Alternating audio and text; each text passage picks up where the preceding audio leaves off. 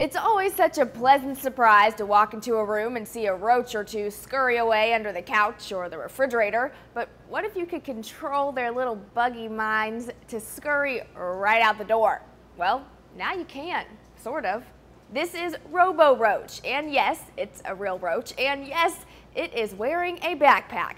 The Cyborg Roach project will be presented at the TED Global Conference in Scotland this week. So how does this contraption work? Or more importantly, how does one get a backpack on a roach? Step one, making the roach unconscious for the quote, surgery. That's done easily by placing it in ice water. Then the backpack is attached, and according to one of the study's researchers, neuroscientist Greg Gage, the backpack communicates directly with the neurons in the cockroach's antennae.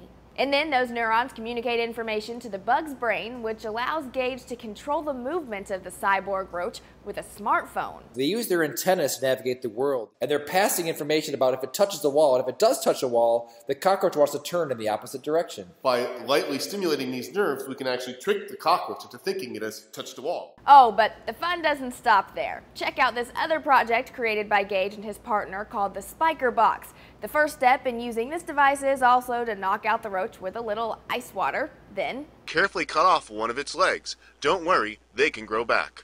A particularly fun one students enjoy is stimulating neurons and muscles to music.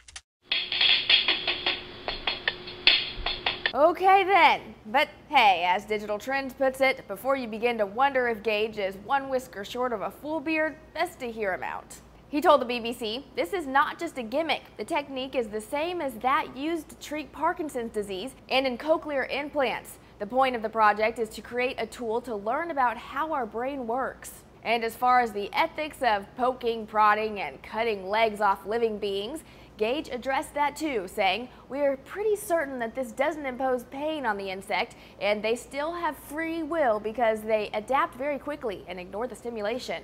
Well, there you have it, a smartphone controlled roach.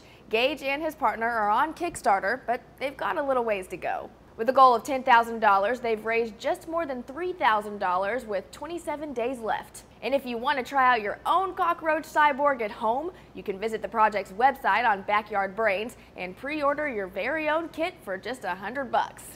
Buying the roach is optional. We'll leave this one up to the bug enthusiasts. It's never been a priority of mine to get that close to the critters. For Newsy, I'm Jasmine Bailey.